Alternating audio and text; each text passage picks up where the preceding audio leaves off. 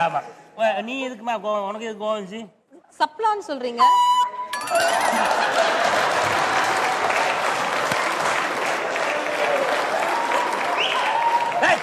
யாரா அவன் கேட்ட திறக்கிறதே அடிக்கிறேன் என்ன வித்தியாசம்? ஏய் இந்த மாதிரி சிரிப்படா